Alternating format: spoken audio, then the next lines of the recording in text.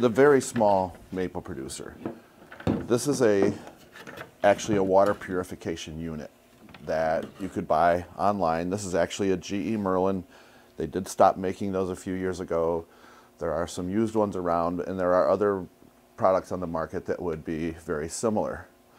And what we have with this is where water is pushed into the unit, where concentrated sap would come off of the unit, and then where purified water would come off of the unit.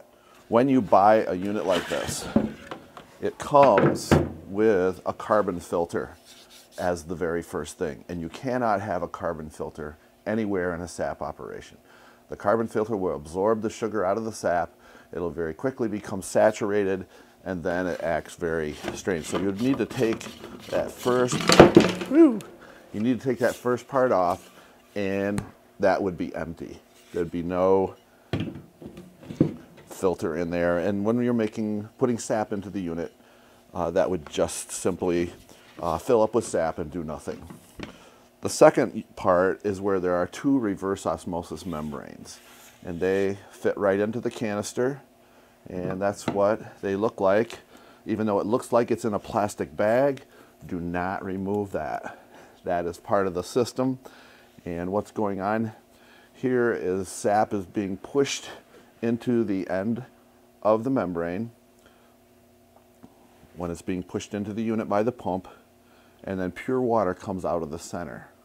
Concentrated sap then comes out the other side of the membrane and passes out the other line. So there's two of these in here.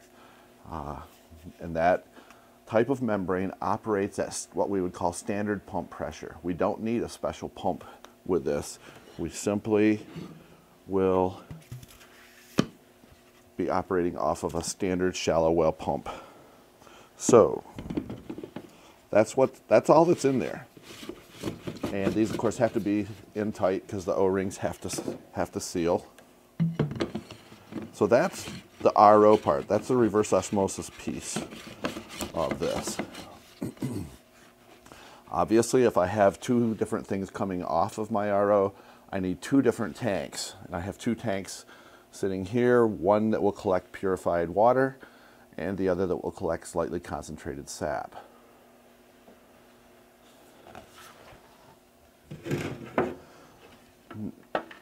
Now the rating on a unit like this is that it will give me 30 gallons of purified water per hour.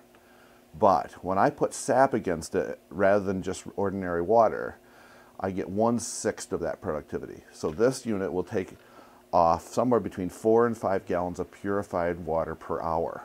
That, that means that many gallons per hour I do not have to boil. The negative of a unit like this is since it's only operating at standard pump pressure, it'll only bring the sugar content up to between four and a half and five percent. That's as high as it can go. That means this will take out half of the water. It'll save me half my boiling time. It'll save me half of the energy, but that's the best it can do.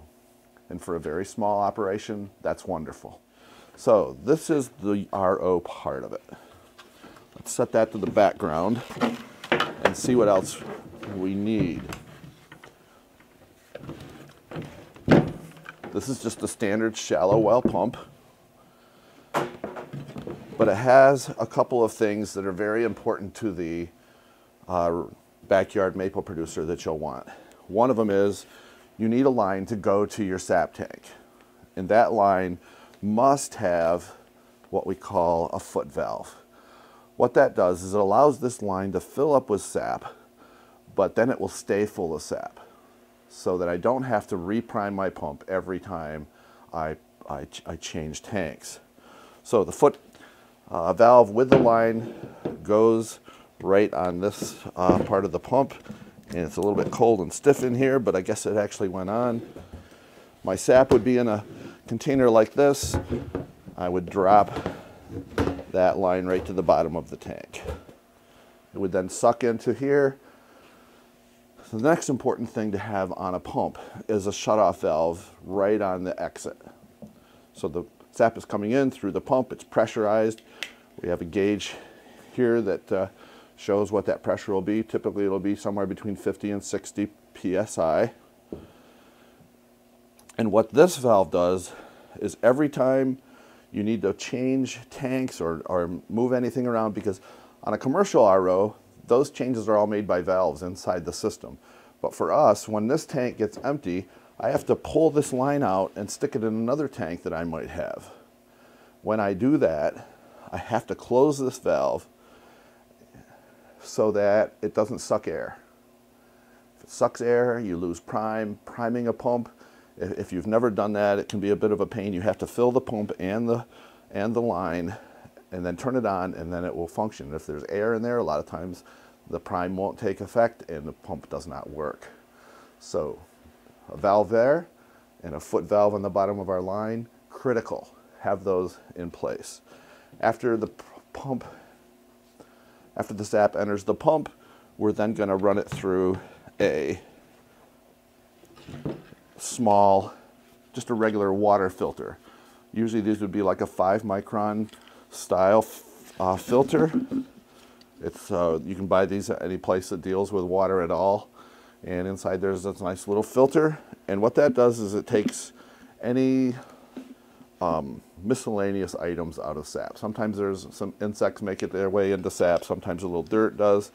And this just cleans it out because we do not want that in our RO membranes. This has a direction of flow and we want to make sure we obey that.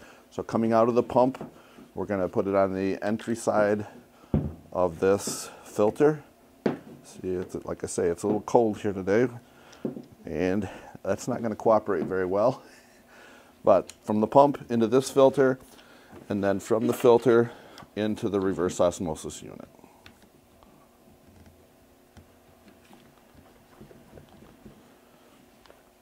There we have a pressure gauge there. Like I say, this pressure gauge and this pressure gauge should be pretty much the same. If they're not, that means this filter in here is plugged. Uh, you probably have to change that several times during a season, but they're not very expensive. Now I have a, a barrel full of sap. I prime my pump. I push it through the filter into the reverse osmosis unit. And then I have uh, purified water coming out one line, and I have concentrated sap coming out the other. Now it's not going to be very concentrated by just going through this unit once. So what we do is we run this line right back into our sap tank.